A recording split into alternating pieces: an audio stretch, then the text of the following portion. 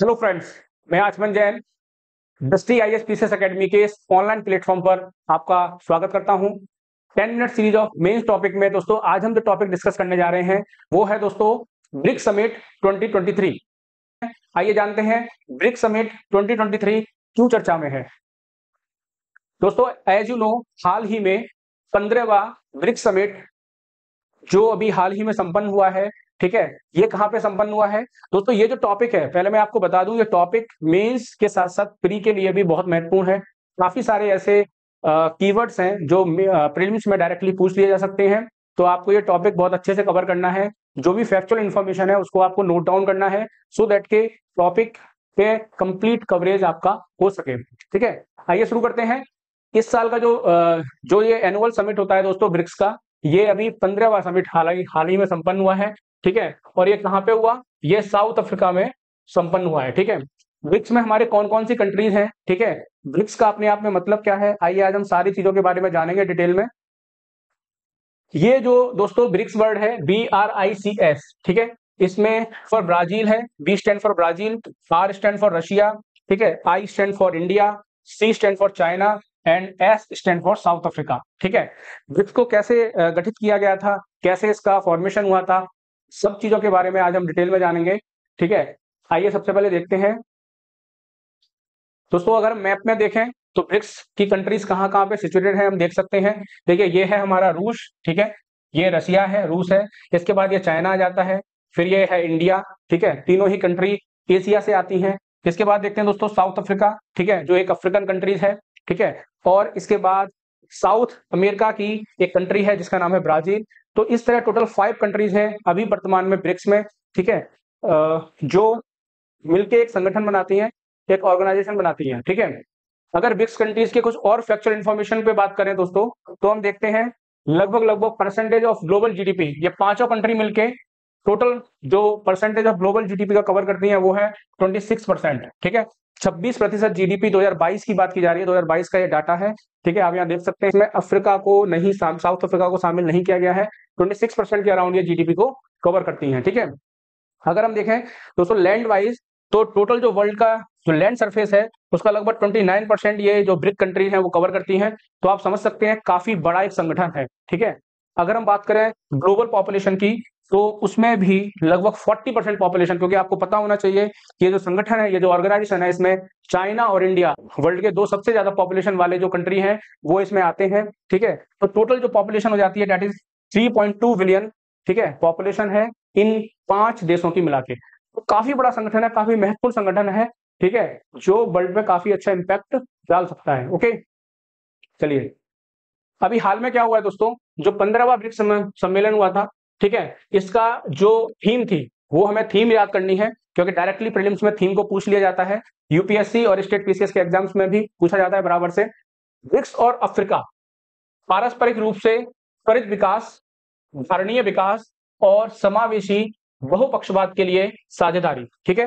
तो इतनी बड़ी इसकी थीम है, आपको अच्छे से इस थीम को समझना है, ठीक है? और इस थीम को अच्छे से नोट डाउन कर लेना है, जिससे कि आने वाले टाइम में कोई एग्ज़ाम में अगर आपको ये थीम पूछ ली जाए तो आप उसका आंसर अच्छे से कर पाए। ठीक है?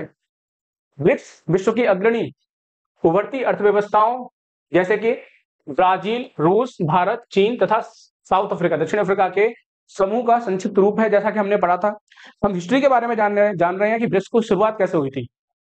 वर्ष 2001 में 2001 में एक ब्रिटिश इकोनॉमिस्ट है, ब्रिटिश अर्थशास्त्री जिम ओ नील ठीक है?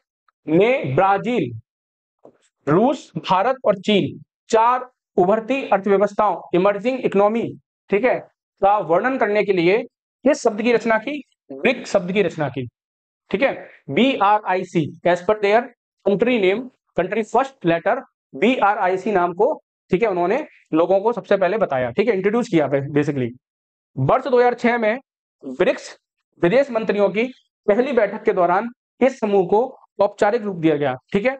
जब ये सबसे पहले नाम आया, ये कब आया? 2001 में। ठीक है? और 2006 में जो फॉरेन मिनिस्टर्स हैं, इन सभी चारों कंट्रीज़ के, उनकी पहली बैठक संपन्न हुई, ठीक है?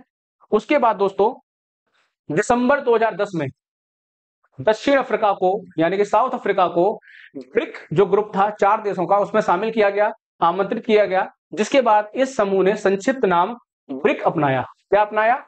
ब्रिक से ये क्या बन गया? ब्रिक्स बन गया B R I C S जो इसका अभी वर्तमान स्वरूप है। आज की डेट में से किस नाम से जाना जाता है? B R I C S के नाम से इसे जाना जाता है। फोरम की अध्यक्षता मतलब ये जो संगठन है, इसकी चेयर किस तरह बांटी जाती है? B R I C S जो नाम है, उसके अकॉर्डिंग प्रतिवर्ष परिवर्तित की जाती है। ठीक है, जैसे कि B R I C S तो इस साल साउथ अफ्रीका में हुआ है तो जो नेक्स्ट समिट होगा, वो कहा होगा दोस्तों? वो ब्राज़ील में होगा। उसके बाद फिर रशिया में होगा, फिर इंडिया में होगा, और उसके बाद फिर चाइना में होगा और अगेन फिर अगला साउथ अफ्रीका में होगा। तो इसके अकॉर्डिंग इसको, इसकी चेयर को चेंज किया जाता है, ठीक है?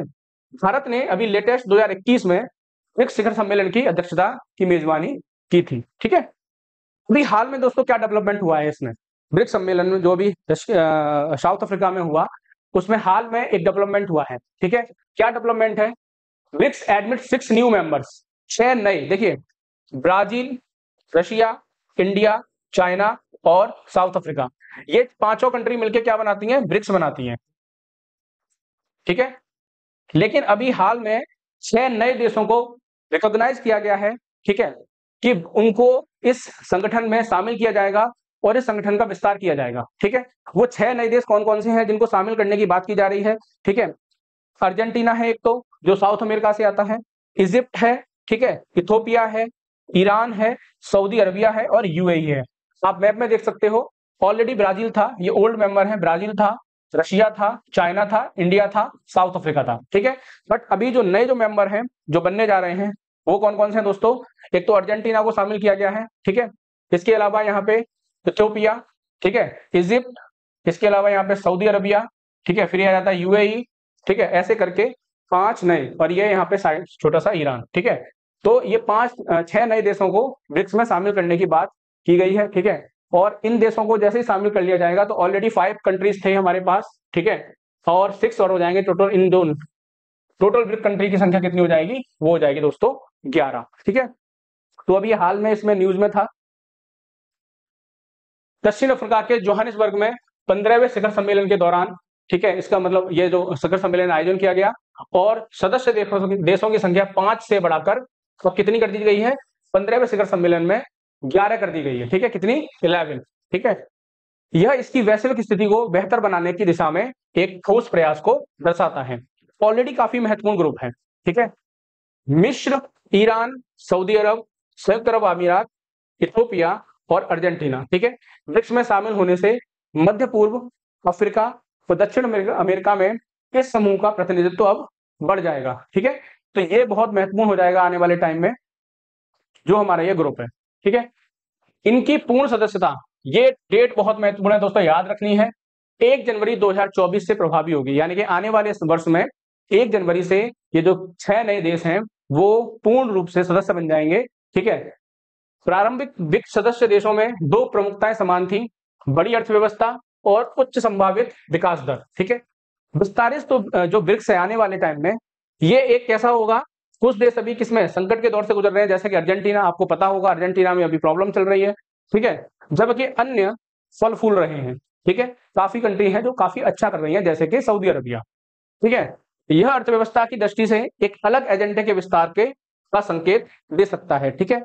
एक अलग ही लेवल पे, ठीक है? सक्सेस मिल सकती है, अगर इस ग्रुप का विस्तार होता है तो ठीक है? क्योंकि और इतनी सारे कंट्रीज़ को ऑलरेडी काफ़ी महत्वपूर्ण है। अगर ये छह कंट्रीज़ और आती हैं तो डेफिनेटली जीडीपी का परसेंटेज बढ़ेगा, ठीक? तो दोस्तों, आज हमने डिस्कस किया हमारा पूरा का पूरा ब्रिक जो अभी जो समिट हुआ है ट्वेंटी ट्वेंटी थ्री ठीक है? इसको हमने अभी डिस्कस किया, ठीक है? इसमें हमने सारे फैक्चुअल इन्फॉर्मेशन को देखा।